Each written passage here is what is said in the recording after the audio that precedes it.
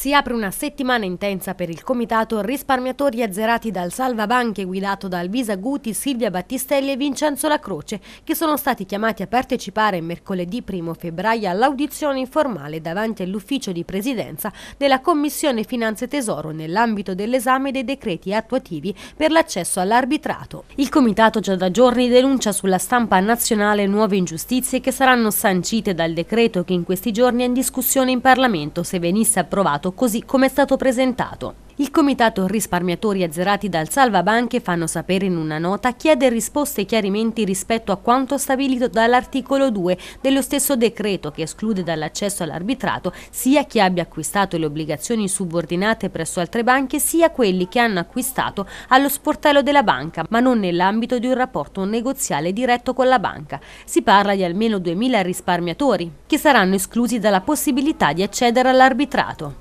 Giovedì 2 febbraio invece il Comitato Risparmiatori Azzerati dal Salvabanche parteciperà ed interverrà al Consiglio Comunale aperto convocato ad Arezzo ed incentrato proprio sulla situazione dei risparmiatori azzerati. Nelle intenzioni del sindaco Alessandro Ghinelli al momento della convocazione c'è la necessità di coordinare le iniziative di sostegno ai risparmiatori unificandole sotto un'unica guida.